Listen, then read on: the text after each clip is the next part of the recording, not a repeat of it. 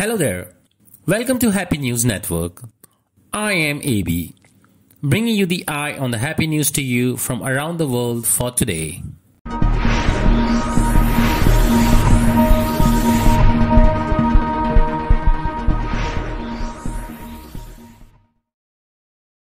Around 2500 people attended socially distanced concert in the UK, wherein singer Sam Fender performed and entertained the audience.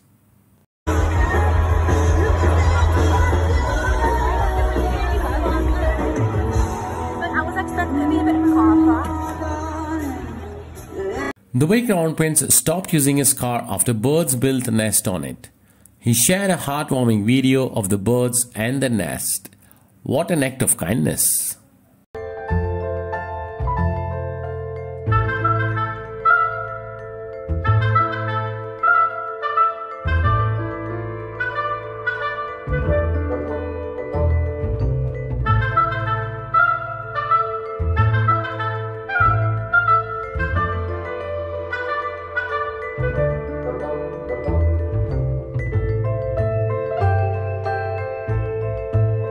That's it for today. Thank you all for watching.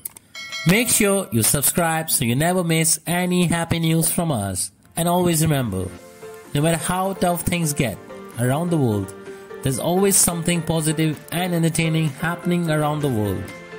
Goodbye, take care, stay tuned, and be happy always. Spread happiness.